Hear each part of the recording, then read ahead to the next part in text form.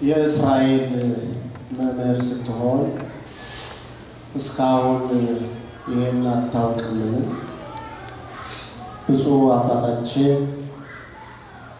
አቡነ ዮሐንስ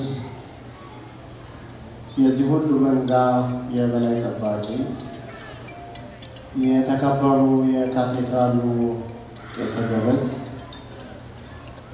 ለተልእኮ ምስጢር የምትፋጠሩ ወንድሞቼ ዲያቆናት፣ ከዓለም ርኩሰት ሁሉ ተለይታችሁ ቅዱስ ቃልን ለመማር በሌሊት ስጋዊ እንቅልፍ ሳይማርካችሁ ወደ ቅድስናው አደባባይ በእምነት ገስግሳችሁ የመጣችሁ እግዚአብሔር በጸጋው የሽበት ዘውድ የደፋላችሁ አረጋውያን አባቶቼ እና እናቶቼ የነገዋ ቤተ ክርስቲያን አደራ ተረካቢዎች፣ ወጣቶች ወንድሞቼ እና እህቶቼ ሕፃናት ጭምር ባሰባሰበን በጠራን በእግዚአብሔር ፍጹም ሰላምና ፍቅር እንደምን ሰነበታችሁ? እንደምን ቆያችሁ? እንደምን አደራችሁ? ግርማ ሌሊቱን አሳልፎ አዲስ ዕለት አዲስ ቀን በዚህ ባለቀው ዕድሜያችን ላይ ኃጢአትና በደል ርኩሰት በበዛበት ዓለም እግሮቻችን እንደ ብሆር በቅድስናው አደባባይ እንዲጸኑ ያደረገን ቁመንም እንድናስቀድስ ኃይልና ብርታት ለሆነ ለአምላካችን ለእግዚአብሔር ክብርና ምስጋና ለስሙ ይሁን። አምላክን ላየንባት ለአዲስ ኪዳን ኪሩብ ለእመቤታችን ለድንግል ማርያም የድንግል ማርያም አማላጅነት አይለየን። የቅዱሳን መላእክት ጠባቂነት የአባቶቻችን በረከታቸውና ረድኤታቸው ጭምር ከሁላችንም ጋር ይሁን። ከሞት አስመልጦ ወደ ሕይወት ያመጣን አምላክ እግዚአብሔር ስሙ ይክበር ይመስገን።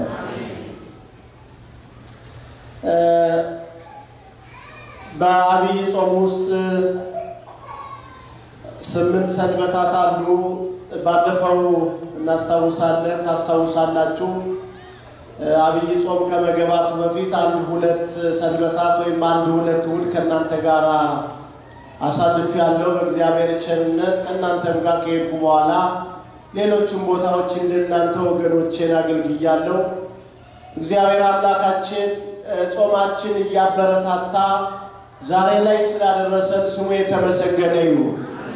ጾም እንዴት ነው? ጥሩ ነው? ጥሩ ነው። አዎ፣ ግን አንዳንድ ጊዜ ፈታኝም በይበልጥ በዚህ ሀገር እንደው የጾም ምግብ በእንቅስቃሴ በጉዞ ላይ ለማግኘት በጣም ፈታኝ ነው፣ ሰማዕትነት ነው እና ጥሩ ነው። እግዚአብሔር ይመስገን እንኳን ለዚህ ያደረሰ። እንግዲህ የመጀመሪያውን ያው ዘወረድን አስተምሬያቸዋለሁ። ከዛ ሲቀጥል ቅድስትን አስተምሬ ነው የሄድኩት። ከዛ በኋላ መጻጉዕ፣ ደብረ ዘይት፣ ገብረኄር፣ የዛሬው ደግሞ ኒቆዲሞስ ይባላል። ስያሜውን ያገኘው ከቅዱስ ያሬድ ነው። ቅዱስ ያሬድ ነው ይህንን ስያሜ የሰጠውና በዚህ በአብይ ጾም ውስጥ ያሉ ሰንበታት ልዩ ስያሜ ያላቸው የመጀመሪያው ዘወረደ ብለናል። ሁላችሁም ዘወረደ በሉ እስኪ ለማስታወስ ነው። ምንም አዲስ ነገር የለም። በየዓመቱ ይሄው ግን ምንድነው እንረሳለን። የመጀመሪያው ዘወረደ በሉ እስኪ ከዛ ቅድስት በሉ መጻጉዕ፣ ደብረ ዘይት፣ ገብረኄር፣ ኒቆዲሞስ፣ ሆሳዕና፣ ትንሣኤ ለብርሃነ ትንሣኤው እግዚአብሔር በሰላም ያድርሰን። ለዛሬ ሳምንት ደግሞ ለሆሳዕና በዓል ከዘጠኙ አበይት በዓላት አንዱ ሆሳዕና ነው። እግዚአብሔር ለዛሬ ሳምንትም ያድርሰን። የእድሜ ባለቤት እሱ ነውና ባለቀው እድሜያችን ላይ እድሜ ጨምሮ እግዚአብሔር በሰላም ያድርሰን። የዛሬው ዕለት ኒቆዲሞስ ይባላል። ኒቆዲሞስ የሀገር ስም አይደለም። ኒቆዲሞስ የሰው ስም ነው። ይህን ታሪክ የምናገኘው በዮሐንስ ወንጌል ምዕራፍ ሶስት ላይ ነው። ወንጌላዊው ቅዱስ ዮሐንስ ብቻ ነው ይህንን ታሪክ የጻፈው። ሌሎቹ ሶስቱ ወንጌላውያን ወይም በቴዎሎጂያን አነጋገር በነገረ መለኮት ምሁራን አነጋገር ሲኖፕቲክ ጎስፕል ተመሳሳይነት የጻፉት ማቴዎስ፣ ማርቆስ፣ ሉቃስ ናቸው። ይህን ታሪክ ግን የምናገኘው በዮሐንስ ምዕራፍ ሶስት ላይ እንዲህ ይላል አንተ የአይሁድ መምህር ስትሆን ሁላችሁም ተከተሉኝ። አንተ እስኪ የአይሁድ መምህር ስትሆን እስካሁን ይህንን አታውቅምን? እስካሁን ይህንን አታውቅምን? ቁጥር ዘጠኝ ቁጥር አስራ አንድ ላይ ነው የምናገኘው። ይህንን ቃል የተናገረው አምላካችንና መድኃኒታችን ኢየሱስ ክርስቶስ ነው።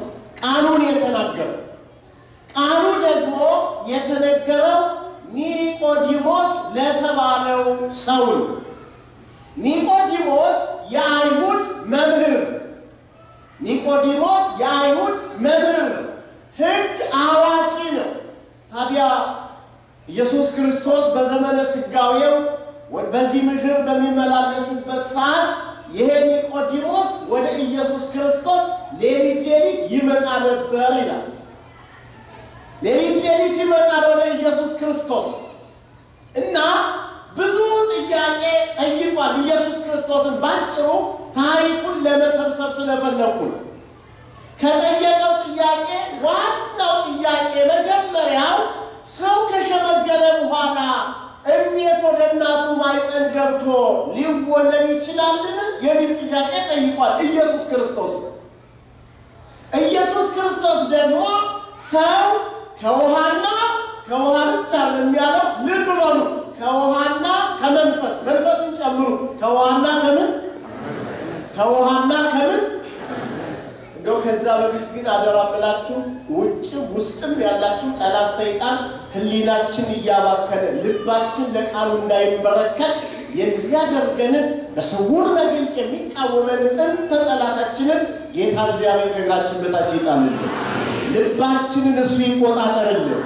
ሕሊናችን እሱ ይቆጣጠርልን። አሁን በዚህ ረፋት በዚህ ሰዓት አንድም አይነት ልባችን ወደ ሌላ ቦታ እንዳይል ጌታ እግዚአብሔር ገጦ የያዝልን። እሱን ብቻ እንድንመለከት ይርዳ። ከእሱ የሆነው መልካም ነውና የእሱን ቃል ብቻ እንድንሰማ እሱ ያግዘ። ሰው ከዋና ከመንፈስ ከዋለንኛ ከመንፈስ ጭምር ካልተወለደ ወደ እግዚአብሔር መንግሥት ከቶ ሊገባ አይችልም አሉ። ይሄን ብቻ አይደለም። ከብሉይ ኪዳን ሌላም ነገር ጠቅሶ ያስረዳዋል። ዘኍልቍ ምዕራፍ 23 ላይ ያለው ሙሴ በምድረ በዳ እባብን እንደሰቀለ የሰው ልጅ ክርስቶስ ይሰቀል ዘንድ ይገባል ብሎ አረጋግጦለታል። ይሄ ብቻ አይደለም። ከሰማይ የሆነውን ብንናገር ማን ይሰማናል? እኛስ ያየነውን እና የሰማነውን እንመሰክራለን። ምስክርነታችን ግን ማን ተቀበለ እያለ ኒቆዲሞስን አብራርቶ ስለ አንድነቱ ስለ ሶስትነቱ ሰው ከአብራከ መንፈስ ቅዱስ መወለድ እንዳለበት ሁለት ልደት አለ። አንደኛው ልደት ከእናትና ከአባት መወለድ ነው። ሁለተኛው ልደት ግን ከአብራከ መንፈስ ቅዱስ መወለድ ነው። ይሄንን ጠቅሶ እንዳስተማረው መጽሐፍ ቅዱስ ይነግረናል። ታዲያ ኒቆዲሞስ ተከራከረው ኢየሱስ ክርስቶስ ለምን እንደተከራከረው ታውቃላችሁ? ኒቆዲሞስ ለምንድን ነው ኢየሱስ ክርስቶስን የተከራከረ? መጀመሪያ ኒቆዲሞስ እስኪ ማን ነው? ኒቆዲሞስ ማለት በግሪክ ቋንቋ ብርቱ ሰው ማለት ነው። ኒቆዲሞስ ማለት በግሪክ ቋንቋ ብርቱ፣ ጽኑ፣ ብርቱ ሰው ማለት ነው። በግሪክ ቋንቋ ኒቆዲሞስ ማን ነው? የኒቆዲሞስ ባህሪ ምን ይመስላል? ምክንያቱም ሌሎቹን ነገር ከማብራራታችን በፊት ስለ ኒቆዲሞስ እስኪ እንነጋገር። ኒቆዲሞስ ፈሪሳዊ ነው። የመጀመሪያው ኒቆዲሞስ ምንድን ነው? ፈሪሳዊ ምንድን ነው? አሁን መጽሐፍ ቅዱስ ላይ በይበልጥ አዲስ ኪዳን ፈሪሳዊ ፈሪሳዊ ፈሪሳዊ የሚል ቃል ተጽፏል። ፈሪሳዊ ማለት ፈሪሳዊ ፓረሽ ካለው ከዕብራይስጥ ቃል የወጣ ሲሆን ትርጉሙም ራሱን የሚያመጻድቅ ጻድቅ ሳይሆን ራሱን ከፍ ከፍ የሚያደርግ ማለት ነው። የማይሆነው ነኝ እያለ ለታይታ የሚኖር ማለት ነው። ፈሪሳዊ ማለት የሚያመጻድቅ ሳይሆን ነኝ ብሎ ራሱን ከፍ ከፍ በታይታ የሚኖር ማለት ነው። ፈሪሳዊ ማለት ነው። የዮሐንስ ወንጌል ምዕራፍ ሶስት ቁጥር አንድ ላይ ታገኙታላችሁ። ፈሪሳዊ ነው ኒቆዲሞስ። ሁለተኛው ኒቆዲሞስ ማን ነው ለሚለው ደግሞ የአይሁድ አለቃ ነው። የአይሁድ ምንድን ነው? አይሁድ አለቃ አላቸው። አይሁድ አለቃቸው አላቸው። ምክንያቱም አይሁድ ማለት በይሁዳ ልጆች ይሁዳ ከአስራ ሁለቱ የያዕቆብ ልጆች አንዱ ነው። በእሱ አማካኝነት አይሁድ የይሁዳ ልጆች የይሁዳ ልጆች አይሁዳውያን እየተባሉ ይጠራሉ። የአይሁዳውያን አለቃ ነው። በዘመኑ ሰባ የሚሆኑ ሰዎች ሸንጓል። ሸንጎ ነው በዛ ዘመን ያለ ሰባ የሚሆኑ ሰዎች ይቀመጣሉ። ወሳኝ ናቸው። እነዚህ ሰዎች መንፈሳዊውን ፍርድ ይሰጣሉ፣ ስጋዊውን ፍርድ ይሰጣሉ። ሸንጎ የሚባል ድሮ ታውቃላችሁ አይደል? በሀገራችን የሸንጎ ፍርድ ዛፍ ላይ ተሰብስበው ሸንጎ ሸንጎ ፈርዷል ሲባል አሰቡ። በዛ ዘመን ኒቆዲሞስ ሰባ የሚሆኑ ምን አሉ ተሰብሳቢዎች አሉ። የሰባዎች ሁሉ አለቃ ነበር ኒቆዲሞስ የሰባ ሰዎች። ስለዚህ የአይሁድ አለቃቸው ነው ኒቆዲሞስ። በሌላ አነጋገር ንጉሱ የሮማው ንጉስ ቄሳር በእስራኤላዊ እስራኤልን ይገዛ ያስተዳድር ስለነበረ በእስራኤል የሚሾማቸው ሹማምንት ናቸው። ስለዚህ ለአይሁድ አለቃ አላቸው። አለቃቸው ኒቆዲሞስ ነው። የዮሐንስ ወንጌል ምዕራፍ 3 ቁጥር 10 ላይ እናገኛለን። ኒቆዲሞስ ምሁረ ኦሪት ነው። ኒቆዲሞስ ምሁረ ኦሪት ነው።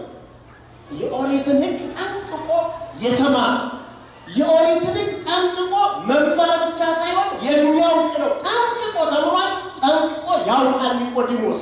ስለዚህ ምሁረ ኦሪት ነው።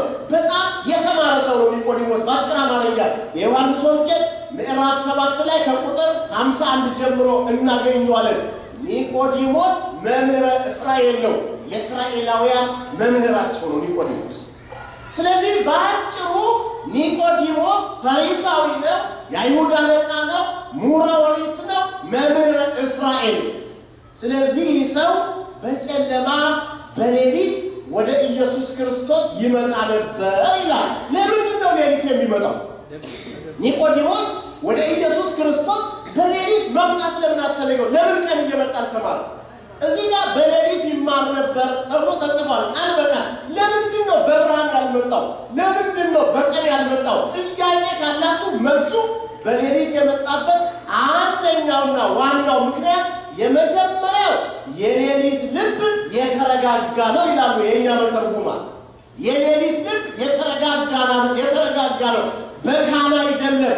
የተረጋጋ ስለሆነ በሌሊት ይመጣል። በሌሊት የመጣው የሌሊት ልብ የተረጋጋ ነው። ቀን ግን በካና ነው ብለው የሰው ልጅ ልቡ ቀን ሲባክን ይውላል ብለው አስቀምጠው ላይ ቤተክርስቲያናችን ሊቃውንት። ሌላው ኒቆዲሞስ በሌሊት ለምን ይመጣ ነበር ወደ ኢየሱስ ክርስቶስ ካላችሁ አይሁድን ስለፈራ ይሄን አስምሩበት በደንብ አድርጋችሁ። አይሁድን ስለፈራ ነው። ለምንድን ነው የፈራው አይሁድን? አንደኛ የአይሁድ አለቃ ነው። ሁለተኛ ኢየሱስ ክርስቶስ ለአይሁድ ደግሞ ተነሳስተዋል። ኢየሱስ ክርስቶስን ይጠሉታል። ለምንድን ነው የጠሉት? እነሱ የጠበቁት ኢየሱስ ክርስቶስን የጦር መሪ ሆኖ እንደ ዳዊት አርባ ዘመን እንደነገሰው እንደ ሰሎሞን ከሮማ ነፃ ያወጣናል ጦረኛ ንጉሥ ነበር የጠበቁት ኢየሱስ ክርስቶስን። እንደጠበቁት አልመጣላቸው። እነሱ የጠበቁት በቤተ መንግስት በኤዶምያስ ቤተ መንግስት ይወለዳል እንደ ዳዊት ንጉሥ ይሆነናል ብለው እሱ ግን የምድርም የሰማይም ንጉሥ ነው። ስሙ የተመሰገነ ይሁን። በተናቀው በከብቶች በረት ተወለደ። አያችሁ። ስለዚህ አይሁድ አልተቀበሉትም። ለምንድን ነው ያልተቀበሉ? ራሱን ዝቅ አድርጎ በከብቶች በረት ተወልዶ ራሱን ለእኛ ሲል ዝቅ ስላደረገ አይሁድ ሊቀበሉት አልፈለጉም። ለምን? እነሱ ይጠብቁት የነበረው ከቤተ መንግስት ተነስቶ ነገስታቱን ሰባብሮ ምድራዊ ንጉሥ ጊዜያዊ መሪ ነው የፈለጉት። የሚገርማል። እሱ ግን የረፍቷ የዘላለም ንጉሥ ስለዚህ ኒቆዲሞስ የአይሁድ መምህራቸው አለቃቸው ነው። የአይሁድ አለቃ ስለሆነ ከአይሁድ ጋር አይሁድ እንዳያገሉት። ምክንያቱም ሸንጎ ከወሰነ ያ ሰባ የሚሆነው ሸንጎ ከወሰነ አንድ ሰው ከሀገር ሁሉ እንዲወጣ ይደረጋል። አገር እንዲለቅ ያ ሰባ ሸንጎ ይሰበሰብና ኢየሱስ ክርስቶስን የተከተለ ሰው እዚህ ሀገር እንዳይቀመጥ ብሎ ከታዘዘ ወጥቶ መሄድ ይህ ህጋቸው ሸንጎ ቀላል እንዳይመስላችሁ ትልቅ ቦታ የነበረ ነው በዘመኑ። ስለዚህ የአይሁድ መምህር የአይሁድ አለቃ ፈሪሳዊ መምህረ ኦሪት ስለነበረ እንዴት ሳይማር ነው እንዴ ለካ የሚያስተምረን ይሉኛል ይልቁኛል ብሎ እኮ ነው የሚገርማቸው። ለካ ሳይማር ነው እንዴ እኛን የሚያስተምረን ለካ ሳያውቅ ነው እንዴ እኛን የሚያሳውቀን ብለው ሰዎች ይልቁኛል ብሎ በሌሊት ወደ ኢየሱስ ክርስቶስ መጣ። ኒቆዲሞስ ከእግዚአብሔር ተሰጥቶት ነው። እግዚአብሔር ግን እውቀት በባህሪ ነው። ስሙ የተመሰገነ ይሁን። ኒቆዲሞስ ምኑም ያክል እንሁን እኛ ሰዎች ከእግዚአብሔር ተሰጥቶን ነው። እግዚአብሔር ግን ከሁላችን በላይ ነው። ስሙ የተመሰገነ ይሁን። ስለዚህ ኒቆዲሞስ እናውቃለሁ አላያችሁ። የሰው ትልቁ ችግር ምን ታውቃላችሁ? አዋቂ ነኝ ብሎ መመጻደቅ። ዛሬም በዘመናችን ችግር አለ። ምን አይነት ችግር እንዳለ ታውቃላችሁ? እኔ አዋቂ ነኝ፣ እኔ ምሁር ነኝ። ስጋዊ እውቀት ካላችሁ ክርስቲያኖች ወደ መንፈሳዊ እውቀት ተጠሙ። የቱንም ያክል ይሁን የቱንም ያክል ይሁን በስጋዊ እውቀት እግዚአብሔርን ማግኘት አይቻልም። ይቻላል? ይቻላል ወይ? አይቻልም። አሁን አንዳንድ ሰዎች ሳያውቁ አውቀናል፣ ሳይማሩ ተምረናል፣ ሳያውቁ አውቀናል፣ ሳይላኩ ተልከናል ብለው ራሳቸውን እያመጻደቁ እውነትን የዘጉ ሰዎች አሉ። እውነት ክርስቶስን የዘጉ ሰዎች አሉ። ልባቸውን ዘግተው ከኔ የበለጠ አዋቂ ምን አለ? እኔ እኮ አዋቂ ነኝ፣ ምሁር ነኝ እያሉ ተረት ተረት ተረት እየተረቱ ያወቁ የሚመስላቸው የማያውቁ ብዙ ሰዎች አሉ። ከኒቆዲሞስ ተማሩ። ኒቆዲሞስ በሌሊት ይንቁኛል ብሎ ክርስቲያኖች ስለ እግዚአብሔር ክብር ብንናቅም ዋጋ የለውም እንዴ? ተናቁ ስለ እግዚአብሔር ክብር። ግን መንፈሳዊ እውቀት ጨምሩ። አሁንም አዋቂዎች ሁኑ። ስጋዊ እውቀት አለን ብላችሁ አትታበዩ። እግዚአብሔር ፊት ስጋዊ እውቀት ከንቱ በእግዚአብሔር ፊት ስጋዊ እውቀት ምናምንቴ ነው። ስለዚህ ኒቆዲሞስ እናቃለው ብሎ በጨለማ ወደ ብርሃን ጌታ መጣ። ስሙ የተመሰገነ ይሁን። በጨለማ ወደ ብርሃን ጌታ ነው። ባካቸው ጨለማው አንድም ጨለማው የብሉይ ኪዳን ዘመንን ሲያወሳ ነው። ያ የብሉይ ኪዳን ዘመን የጨለማ ዘመን ነው። ብርሃን ኢየሱስ ክርስቶስ መጣልን ሲል በጨለማ ወደ ብርሃን ጌታ ኢየሱስ መጣ። እሱ ብርሃን ነው። የዓለም ብርሃን ነው። ብርሃን ዘዘልፋ ያበር ጨለማ የማያሸንፈው ብርሃን የልብ ብርሃን ኢየሱስ ክርስቶስ ነው። እንደ ኒቆዲሞስ ና። ጨለማው የክፉ ስራ ምሳሌ ነው። ጨለማ የዲያብሎስ ምሳሌ ነው። ጨለማውን አሸንፈን ወደ ብርሃን ኢየሱስ ክርስቶስ ና። ያን የመንፈሳዊ እውቀት ያድጋል። አባቴ ያን ጊዜ መንፈሳዊ እውቀቶ ያደገ ይሆናል። ዛሬ ችግራችን እንደው ታውቃላችሁ፣ በጨለማ ውስጥ እየኖር ነው ያለ ነው። ጨለማ የኃጢአት ምሳሌ ነው። ጨለማ የዝሙት፣ የክፋት፣ የርኩሰት ምሳሌ ነው። ኒቆዲሞስ በጨለማ ወደ ብርሃን ጌታ መጣ።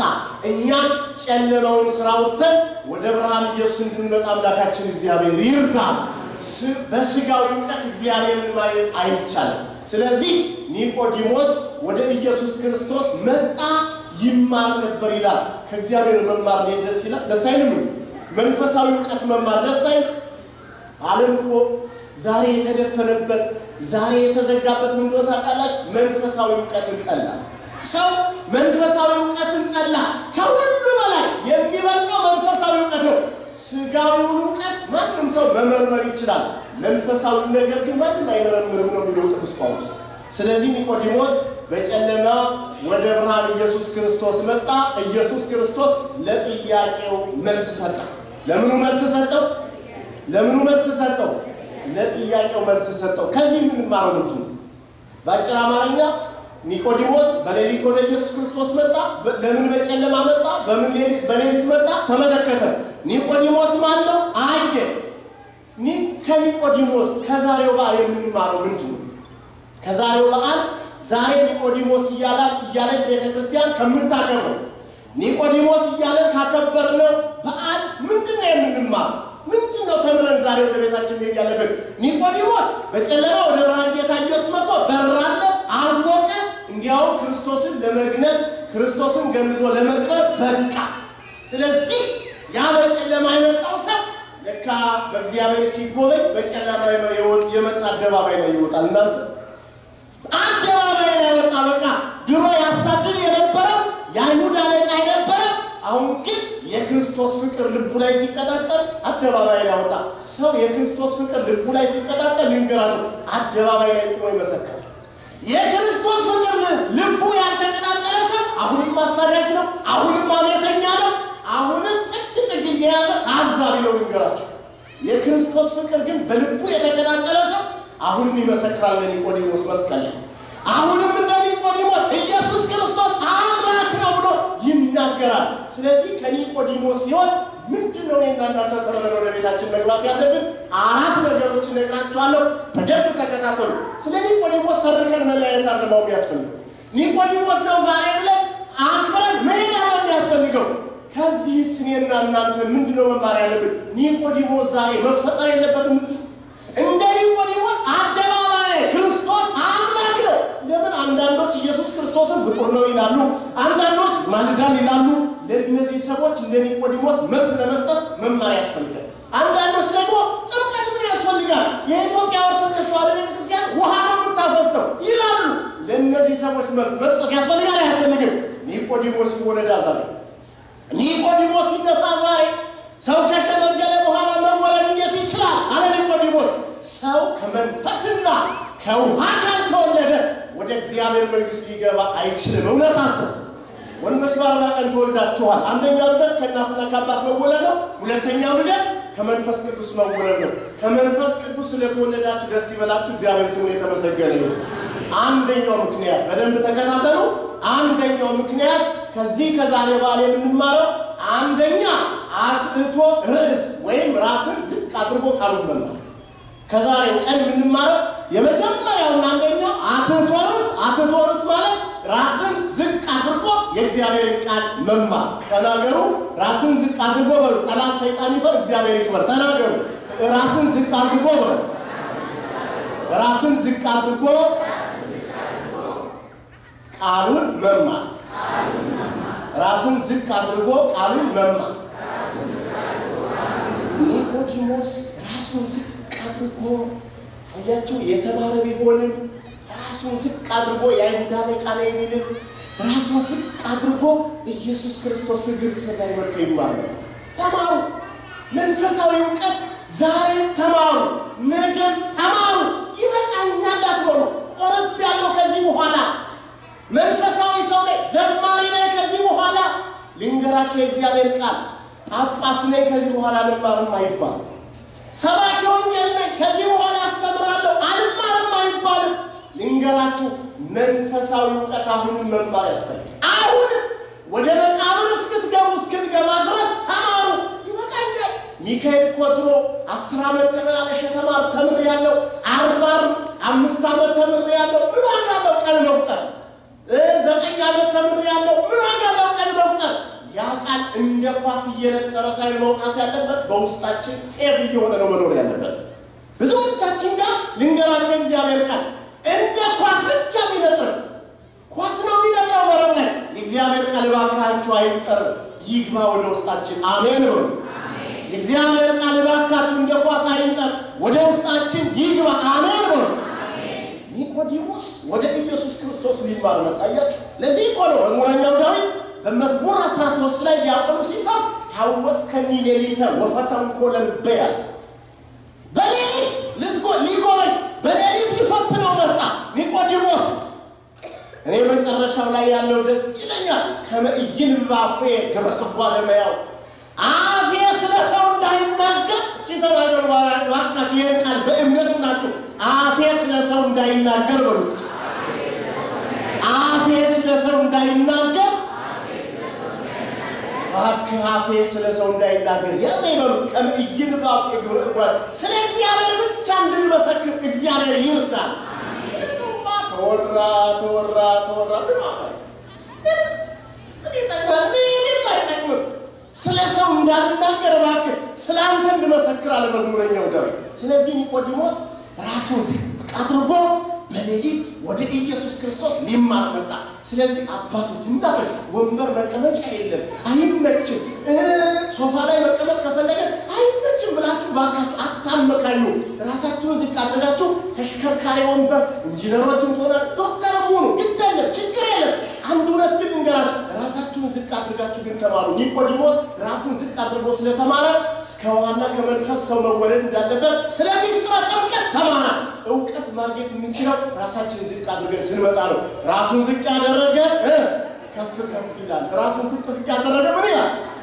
እናውቋል እኮ ንግግሩን። ችግሩ ያን ንግግር ወደ ህይወት መጠግበር ነው።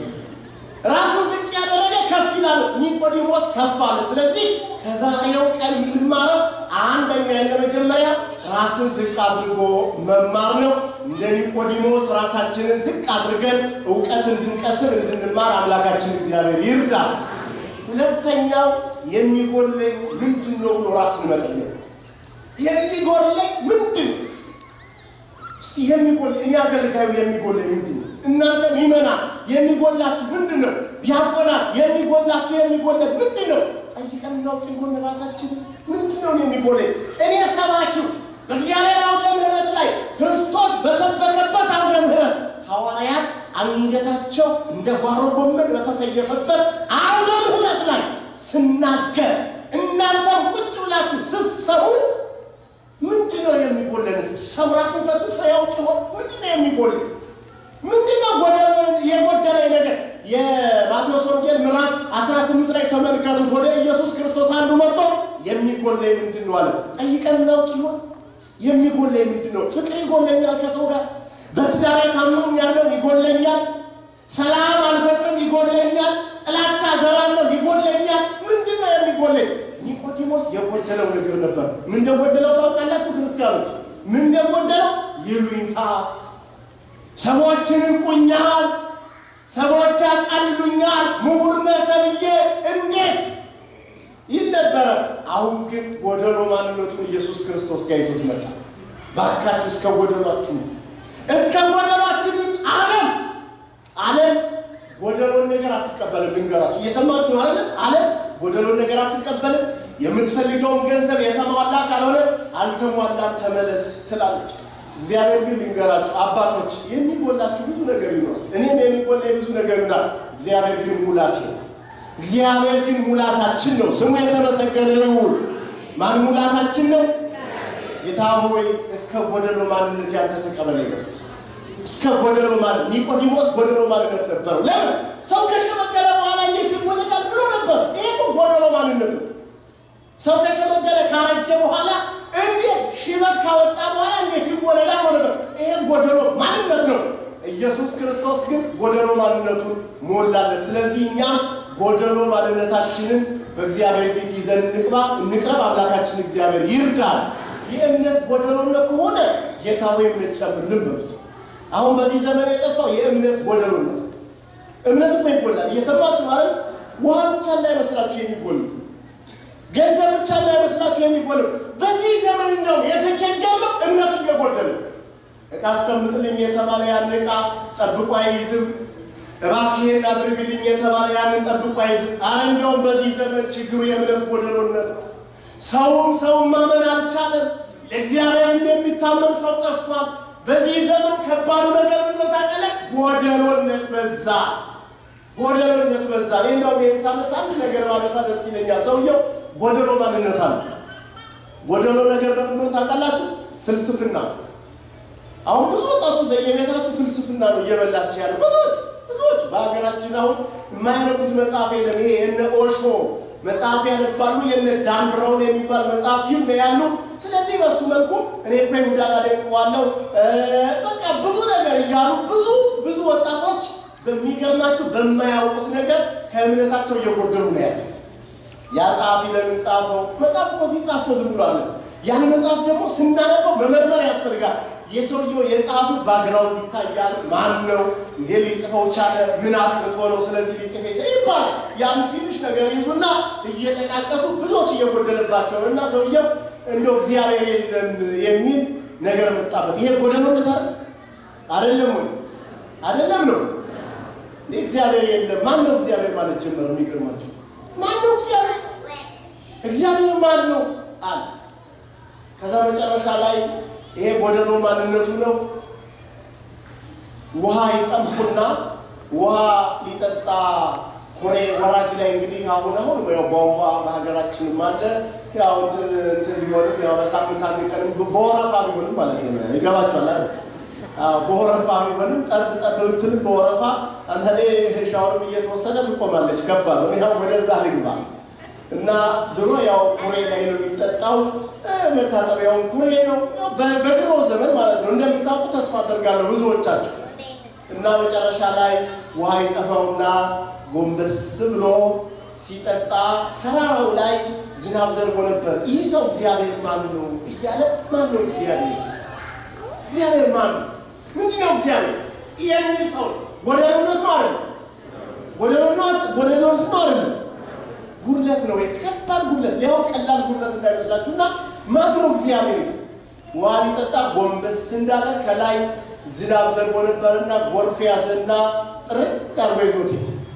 አረ እግዚአብሔር አለ አላው። የሚገርማችሁ ነገር አረ እግዚአብሔር አለ። እኛም ይኸው በችግር ቀን ነው በቃ ምን ለምነው። አንዳንዶች ጥሩ ነው፣ እኔ አልቃወምም። እዚህ ሀገር መጥተው መኖሪያ ፈቃድ ሲያጡ ወይም ደግሞ አሳይለም ሲሞሉ እንደ ወርዳ ያኔ አማኝ ይሆናሉ። ቤተክርስቲያን ይመጣሉ።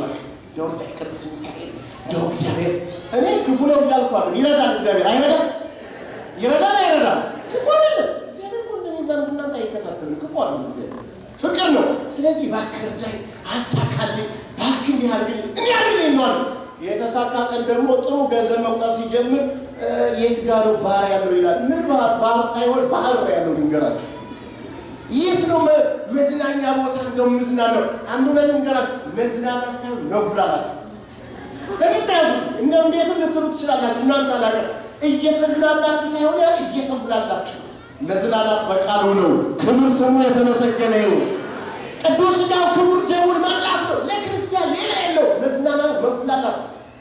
ስለዚህ ሰውየው እግዚአብሔር ሆይ አለህ አለህ እግዚአብሔር ሆይ አለ።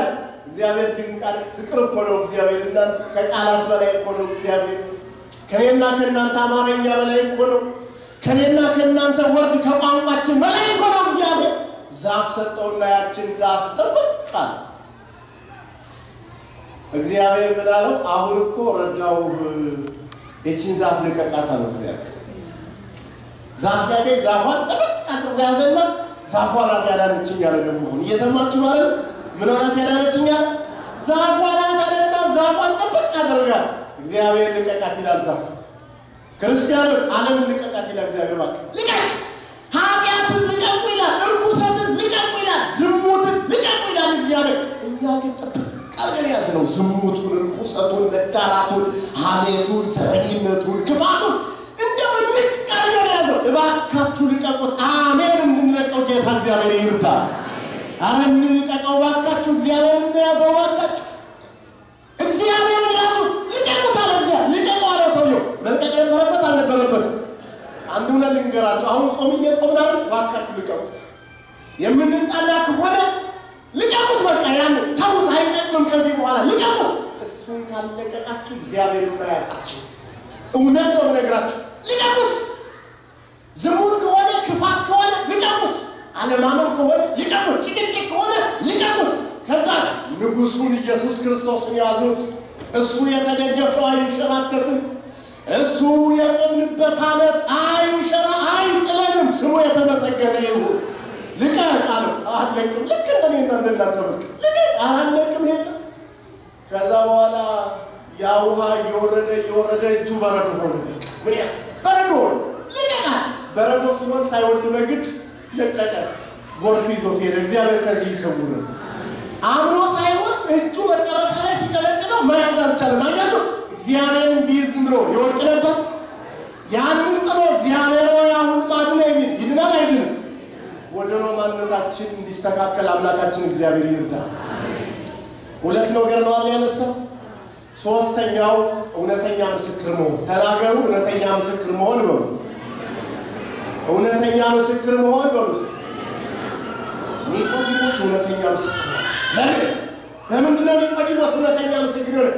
በጨለማ የተማረው የ night ተማሪው ኒቆዲሞስ አሁን ብርሃን ላይ ወጣ። ኒቆዲሞስ የጨለማ ተማሪ ኒቆዲሞስ የማታ ተማሪ ነው። የመጀመሪያው የማታ ተማሪ ኒቆዲሞስ አለ አባታችን። ረቢ ሰገደ በመንፈቀ ሌሊት ለረቢ ይላል ሊቁ ባለቅኔው። ረቢ ሰገደ በመንፈቀ ሌሊት ለረቢ።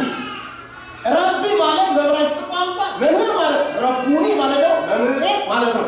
ረቢ ማለት መምህር ማለት ነው። ኒቆዲሞስ መምህር ነው። በጨለማ ለኢየሱስ ክርስቶስ እየመጣ ይሰግድ ነበር። ረቢ መምህር ነው። ነገር ግን በጨለማ የተማረውን ትምህርት አሁን እውነተኛ ምስክር ሆነ። ምን ብሎ ኢየሱስ ክርስቶስ አምላክ ነው፣ ኢየሱስ ክርስቶስ ፈጣሪ ነው፣ ኢየሱስ ክርስቶስ የዓለም ገድ ነው ብሎ መሰከረ። እውነተኛ ምስክር ብሎ እንደ ኒቆዲሞስ እግዚአብሔር ይመጣል። ሞልቷል። የውሸት ምስክር ሞልቷል። ይንገራችሁ፣ የውሸት ምስክር የሚመሰክር ሞልቷል። አብልታችሁትን በውሸት ይመሰክርላችኋል። አጠጥታችሁትን በውሸት ይመሰክራል። ግን ክርስትና የውሸት ምስክር የእውነት ነው። እንዲህ ተጽፏል። ይንገራችሁ በማቴዎስ ወንጌል ምዕራፍ 10 ቁጥር 32 ላይ በሰው ፊት ለሚመሰክርልኝ እኔም በሰማያት ባለው በአባቴ ፊት መሰክርለታለሁ። በሰው ፊት ለሚክደኝ እኔም በሰማያት ባለው በአባቴ ፊት እክደዋለሁ። ስለ እግዚአብሔር ያልመሰከረ ስለ ቅዱሳን አማላጅነት ያልመሰከረ በሰማይ በእግዚአብሔር ፊት ተክዷል። ራሳችንን ጠይቅ። ኒቆዲሞስ እውነተኛ ምስክር ሆነ። ከዛስ በኋላ ቅዱስ እግዚአብሔር ቅዱስ ኃያል ቅዱስ ሕያው ዘኢይመውት የማይሞተው ሞተ እያለ ኢየሱስ ክርስቶስን በጨለማ የመጣው ሁሉም አምስት ገበያ ሕዝብ ጥብርያዶስ ባህር ላይ አሳ ሲያበላ ሁለቱን አሳ አምስቱን እንጀራ ሲያበላ አሳ እያነሳ የሚበላ ሰው ነበር። የሚገር ለካ ጥብርያዶስ ላይ ምግብ የሚበላ ሞልቷል። እናንተ ለካ አሳ በይ ምግብ በይ ለካ ሞልቷል። ቀራንዮ ላይ ግን ኒቆዲሞስ ተገኘ። ስሙ የተመሰገነ ይሁን። እባካችሁ ከጥብርያዶስ ላይ ውጡ። አሳው ሰፈር ምግቡ ሰፈር ችግራችን እኛ ቀራንዮን ላይ አልቁማልና አይናችንን ቀራንዮ ላይ አልተክለው አለ። ቀራንዮ ላይ ያለ ሰው ልንገራል፣ መከራው ላይ ሰለችን። የአይሁድን ዛቻ የአይሁድን ክፋት ምንም አይመስለው። ኒቆዲሞስ በጨለማ የተማረ አሁን በአደባባይ በግልጥ ከአርማትያስ ዮሴፍ ጋር ቅዱስ እግዚአብሔር እንደ ኒቆዲሞስ ያደርጋችሁ እግዚአብሔር ቅዱስ እግዚአብሔር ቅዱስ ኃያል ቅዱስ ያለይኑት እያለ ኢየሱስ ክርስቶስን ከመስቀል ላይ አውርዶ ለመገነዝ በቃ አሁን ኢየሱስ ክርስቶስን ገንዟል ለኔ ብላችሁ ቅዱስ እግዚአብሔር ቅዱስ ኃያል እያላችሁ ቁረቡ ነው ብላችሁ ሌላ ነገር አለ። በየዓመቱ አይቀበርም የኛ አምላክ አይሞትም። ችግሩ ቅዱስ እግዚአብሔር እያለ የማይሞተው ሞተ እያለ ቅዱስ ሥጋውና ክቡር ደሙን አንቀበልም። ስለዚህ ኒቆዲሞስ እውነተኛ ምስክር ነው። ክርስቲያን አባቶች፣ እናቶች እውነተኛ ምስክር ሁኑ። ምስክሮቹ ድንቅ ናቸው ተብሎ ተጽፏል። ኒቆዲሞስ እውነተኛ ምስክር ሁኗል። አራተኛው ለመጨረሻው እንደ ኒቆዲሞስ እስከ መጨረሻው መጽናት እስከ መጨረሻው መጽናት ሆኑ። አስረዘምኩባችሁ? እስከ መጨረሻው መጽናት ሆኑ። እንትን ይሉኝታ እንዳይዛችሁ ይሄ እንደው ወፈር ያለ ድብል ብልቄስ ደግሞ እንደው እንደው ያዘን እንዳትሉ እሺ እ እ እንግዲህ ድካም ከሆነ ያው እኔም ከቅዳሴ ጀምሮ እስካሁን አሉ። ግን ለእግዚአብሔር መድከም አያስፈልግ ያስፈልጋል። ያው ከተለመደው ሰዓትም አይዟችሁ አላስረፍዳችሁ። እንትን ነው በግድ የእግዚአብሔር ቃል ሰው አይማርም። በነፃነት ነው ክርስቶስ የሚመለከው በነፃነት ነው። እንደው ሀሳቡን በአመት አንድ ቀን ስለምናገኘው በደንብ እንድትይዙልኝ ስለፈለጉ ነው። እሺ። ስለዚህ ኒቆዲሞስ እስከ መጨረሻው ጸንቷል። ዛሬ የምንማረው እስከ መጨረሻው መጽናት ነው። እስከ መጨረሻው ምን ማለት እስከ መጨረሻው ምን ማለት ከክርስቶስ የተማረ እስከ መጨረሻው ይጸናል። እውነተኛውን የቤተ ክርስቲያን ትምህርት የተማረ እስከ መጨረሻ ይጸናል። መንደር ውስጥ ከተማረ የሰፈር ተማሪ ከሆነ ዝም ብሎ ከዛም ከዚህም እየለቃቀመ ከተማረ ግን አይጸናም። በደንብ የተማረ ሰው ስለ ሃይማኖቱ በደንብ ጠንቅቆ ያወቀ ሰው እስከ መጨረሻ ይጸናል።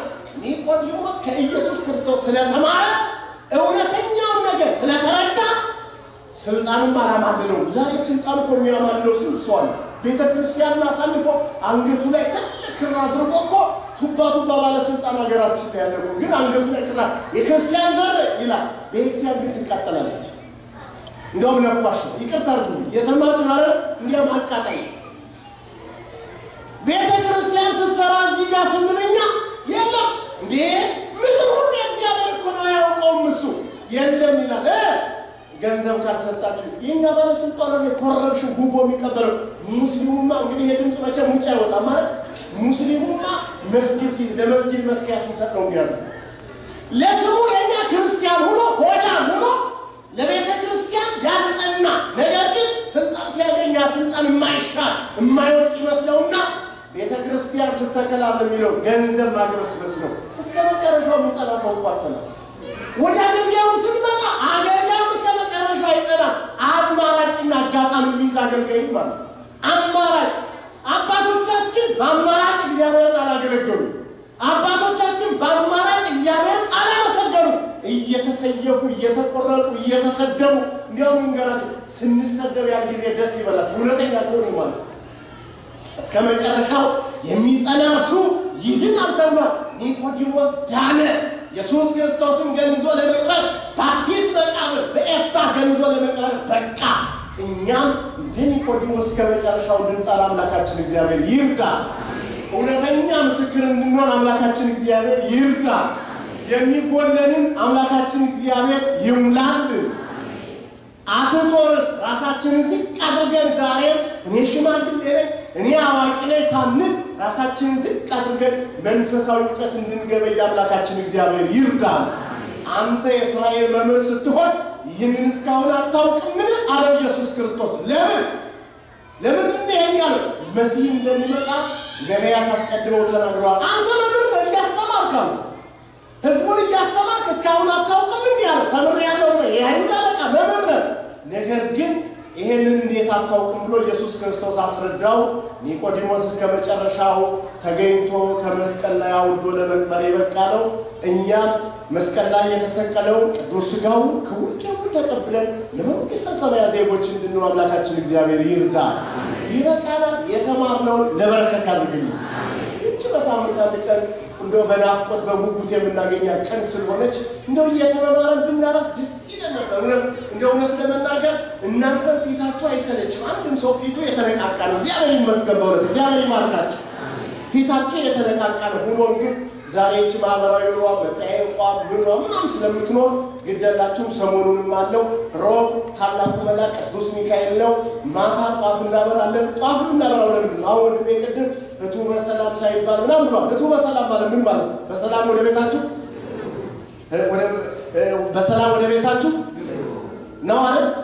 ወደ ቤት ሂዱ ማለት ነው ነው ግን ማንም ይነግረኝ ወደ ቤታችሁ በቃ ሂዱ፣ ምግብ ብሉ፣ አልቋል ማለት ነው ነው እንዴ?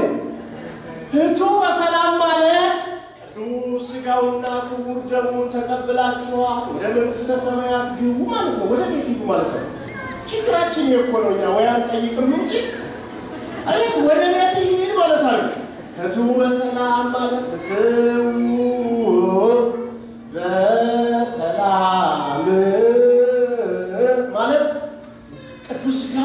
ደሙን ተቀብላችኋል። እኛን አንቆርብም እንጂ ሥጋው ደሙ ቅዱስ ሥጋውን ክቡር ደሙን ተቀብላችኋል፣ ወደ መንግሥተ ሰማያት ግቡ ማለት ነው። ወደ ሰፈር ሻይ ቡና ሂዱ ጠጡ ማለት ነው። አረ ዮሐንስ አባታችን ቅዱስ ሥጋውና ክቡር ደሙን የተቀበለ ነው። ታዲያ ተቀብላችኋል፣ ወደ መንግሥተ ሰማያት ምን ማለት ነው? ግቡ ማለት ነው። ስለዚህ ሮብ አሁን ጠዋት እናበራለን። ጠዋት የምናበራው ቀለል እንዳታደርጉት። አንዳንዴ ኢትዮጵያ ባለስልጣናቱ ለኤች አይቪ እያመሩለት ነው። ግን አደራ እኔ የፖለቲካ ሰው አለ መስቀል ይዤ የፖለቲካ ሰው እየሰማችሁ አይደለ? እዛም የምናገረው ምንም እዛም የምናገረው ጠዋት ለኤች አይቪ ኤድስም ተበርቷል። ጠዋት የሚበራው ስለሆነ ምክንያት አንደኛው ስለ አንተ ቅዱሳን ሰማዕታት እንደ ጧፍ ቀልጠው እንደ ጧፍ በርተው መስክረዋል ብለን እነሱን ምስክር አድርገን እየመሰከርን ነው። ሁለተኛው ጧፍ የምናበራ ዕለታዊ መስዋዕት ነው። ለእግዚአብሔር የሚቀርብ ዕለታዊ መስዋዕት ነው። በዚህ ምክንያት ነው የምናገር። ስለዚህ ጧፍ እናበራለን፣ ሮብ እንመማራለን። አምላካችን እግዚአብሔር በሰላም ያድርሰን። ሮብ እንገናኝ እሺ፣ በጊዜ አርብም እንማራለን። ቅዳሜም ደግሞ ዛሬ ዶክተር ቀሲስ አንዷለም ለአገልግሎት ዲሲ ሄደው ነው። ስለዚህ አሁን እየተዘጋጀ ያለው ለቅዱስ ያሬድ በእውነት በትጋት እነዚህ የምታያቸው ልጆች ሁሉ የቅዱስ ያሬድ ልጆች አይደሉም። እግዚአብሔር በሳቸው አድሮ ያስተማረ ነው። ልጆች እንዲተኩ ነው። አሁንም ህንፃው ከቦርዱ ጋር በመተባበር ይሰራል። አይሰራም? እንደጀመርን እንጨርሰዋለን። እዛ ነው መሰለኝ። እዚህ አይሰራም? አይሰራም? እንዴት ዳላስ አይሰራም? ስለዚህ በእውነት ትምህርት ቤቱ ይሰራል። አርብም ጉባኤ ያለን እህታችንም የው እግዚአብሔር ይመስገን ደከመኝ አትልም፣ ነፍሰ ጡር ናት። እግዚአብሔር በእውነት እጇ ላይ እንደ ሐና እንደ ሳራ እንደ ኤልሳቤጥ አሳቅፎ ደግሞ እጇ ላይ እግዚአብሔር ያሳየናል አይደል እንዴ? ህይወታችን ዘማሪ ትምህርት ነሽም ደከመኝ ሰለቸኝ አላለችም። ይኸው እየዘመረች ነው። የሚገርማችሁ ከባድ ነው። ነፍሰ ጡር እንደ ወንዶች አይገባም ይመስላል ሴቶች ያውቁታል እና ያው ስለሚገባችሁ ማለት ነው። እና ስለዚህ እግዚአብሔር በሰላም ያገናኘን። ሌላው እኔ ባለፈው አንድ መጽሐፍ ጽሑፍ ያለው ብዬ ነግሬያችሁ ነበር አለ በአንድ ወሩ ታትሞ ይኸው ዛሬ እዚህ መጥቷል። ስለዚህ ስለ መጽሐፉ መናገር በለው እፈልጋለሁ። እንድትገዙ ሳይሆን ዋናው ዓላማ እንድታውቁ እፈልጋለሁ። መጽሐፉ አንደኛ በዓላት ምንድን ናቸው ለሚሉ ሰዎች መልስ የሚሰጥ ለምሳሌ አሁን ከሚቀጥለው ሆሳይና ስልሳ ስምንት በዓላት ላይ የተሰራ ነው። ሆሳይና ማለት ምን ማለት ነው? ለምንድን ነው በዘንባባ ያመሰገኑ? ምክንያቱ ምንድን ነው?